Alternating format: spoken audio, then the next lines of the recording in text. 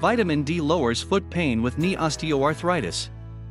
This video discusses how vitamin D slashes foot pain in those with knee osteoarthritis, and in a moment too, we shall reveal how to use less vitamin D with the maximum effect. Want to transform your health for free? Simple, just subscribe and click the bell icon to get notification of all our new videos upon release. The benefits of vitamin D have been well documented over the years. I believe that getting your vitamin D status optimized to between 60 nanograms per milliliter and 80 nanograms per milliliter is one of the best things you can do to help protect yourself against the fall infectious disease season, which is expected to include both flu and COVID 19. Ideally, your body makes vitamin D when your skin is exposed to sunlight. This is why it's also called the sunshine vitamin. The best indicator of your vitamin D level is a blood test measuring the concentration of 25 hydroxy vitamin D, also called 25-OH vitamin D. In addition to the crucial role it plays in your immune system, researchers have also found that it's integral to optimizing leptin levels, which in turn are linked to obesity. In one study, researchers measured vitamin D and metabolic markers in two age and gender matched groups they learned that individuals with deficient or insufficient vitamin D had a higher risk of metabolic syndrome. The results from several studies have also revealed a link between low levels of vitamin D and non-alcoholic fatty liver disease, although the results have not been consistent. Foot pain associated with knee or hip osteoarthritis. Recently, insufficient levels of vitamin D have been associated with foot pain linked to knee osteoarthritis OA. Before delving into the results of the research, it's important to understand the relationship between low back pain and foot pain associated with severe knee OA. In a study from 2010, researchers found that those who had OA in the knee and had pain in other joints in the body were more likely to experience more intense knee pain.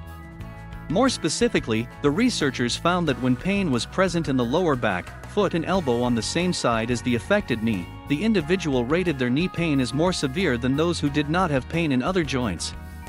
The study was led by a physician from Harvard Medical School and involved the use of data from the Osteoarthritis Initiative, a study of knee OA involving people from several locations in the northeastern area of North America. The researchers included 1,389 participants who were between 45 and 79 years of age.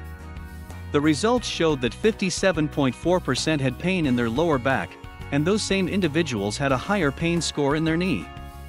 Another group of participants from the same initiative and in the same age range were gathered for a second study. Researchers evaluated 1,255 individuals who had symptoms of knee pain related to OA. They noted that 25% of them had foot pain, and the majority of those had pain in both feet. After adjusting for confounding variables, they discovered that people who had foot pain also had lower scores on other health measures compared to those who did not have pain. Those who had bilateral or ipsilateral pain had lower health scores. This suggested that the side of the body where the foot pain occurred was important. In a third study published in the Journal of the American Podiatric Medical Association, Scientists also evaluated the side of the body where foot pain occurred and compared it to the presence of knee OA. One author commented about the importance of this identification. The study shows that a physician evaluating a patient for foot pain should also ask about possible hip or knee pain, and vice versa, so we can address all of a patient's issues.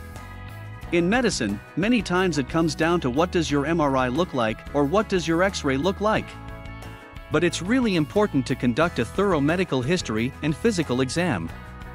A comprehensive orthopedic evaluation may prompt a broader treatment strategy and possibly a referral to another specialist. Vitamin D may reduce pain level. People with knee OA may experience mild, moderate, or severe pain. The Arthritis Foundation compares pain medications used for osteoarthritis listing nonsteroidal anti-inflammatories, NSAIDs, acetaminophen and injections of steroids or hyaluronic acid as treatments. In some cases, antidepressants are used to treat chronic pain, such as duloxetine, Cymbalta. In all cases, the medications have a long list of side effects. In one study, comparisons were made between NSAIDs and opioids, a drug with known addictive properties, to relieve OA pain. researchers found that both types of medication reduced pain, and the effects were nearly identical. When the use of opioids use has been measured across counties, researchers have found that where there is a higher prevalence of disability and arthritis, there is also a higher rate of opioid prescriptions.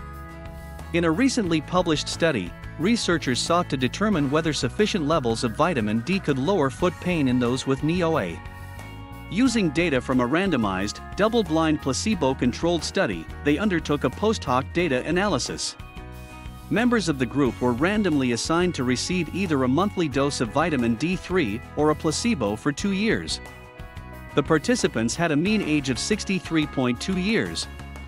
Of the 413 who were enrolled, 340 completed the study. The researchers used the Manchester Foot Pain and Disability Index, MFPDI, to rate the patient's perceived pain. At the start of the study 23.7% had disabling foot pain. The data showed greater improvement in people receiving vitamin D and in those who maintained a sufficient level of vitamin D. They concluded that supplementation and maintenance of sufficient vitamin D levels may improve foot pain in those with knee OA. In an article published in Rheumatology Advisor, it was noted that the study had several limitations, one of which may have significantly underestimated the results. The study had several limitations, including those secondary to a post hoc analysis, lack of data on the clinical importance of the differences in MFPDI scores, and potential underestimation of the benefits of vitamin D, as greater than 60% of patients in placebo group had sufficient vitamin D levels at the end of follow-up. Slow osteoarthritis progression with omega-3 fats. A second nutrient the body uses to prevent or slow the progression of OA is omega-3 fat. Dietary fat is essential to good health. While eating too much or not enough is damaging, without healthy fat your body does not work properly. Polyunsaturated fats, PUFA, are one type of essential fat, which means you must eat them since the body doesn't make them. The two main types of PUFAs are omega-3 and omega-6. Both must be consumed in the right amounts, or you may develop chronic inflammation. You'll find high concentrations of omega-6 in processed food, and corn, safflower, and sunflower oils. While the ideal ratio is 1 to 1, most who eat a Western diet are getting 16 times more omega 6 than is considered healthy. As I've written recently, one of the problems with chronic inflammation may be that it promotes the damaging and dangerous cytokine storm found in those with severe COVID 19. The omega 3 index is a measure of omega 3 fat in the blood, or specifically in the red blood cell membranes. It is given as a percentage, with 8% or higher being ideal, putting you in the lowest risk zone. In a global meta-analysis of past studies measuring omega-3 levels, the researchers found areas with very low blood levels, less than or equal to 4%, included North, Central and South Americas, Europe and Africa.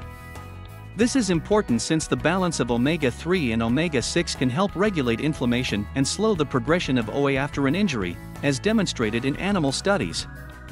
In naturally occurring OA, animals fed a diet rich in omega-3 reduced OA by 50% over those fed a standard diet.